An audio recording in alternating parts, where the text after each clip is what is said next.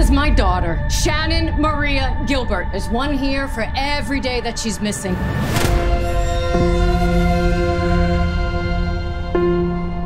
What was she doing in a gated community, 100 miles away from home in the middle of the night?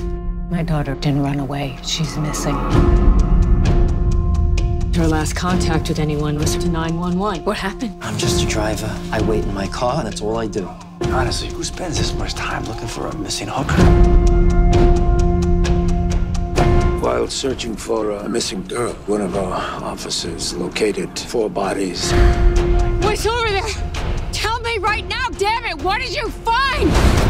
It's not your daughter, Mrs. Gilbert, which is why it's important that you don't talk to the media.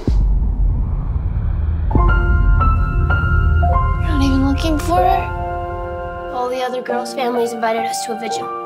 No one's talking about our girls. And when they do, it's prostitute, hooker, never mother, daughter. And it's our job to make sure these girls are not forgotten. I have been dismissed and ignored, but one thing I won't be is silenced. It's time for accountability. So on the news, at least they're finally paying attention. Is this Mari Gilbert? I have some information you're gonna want to hear. What is this, some kind of cover up? You think it's your responsibility to bring her home. But this isn't on you. I'm her mother. It's all on me. Beautiful dreamer,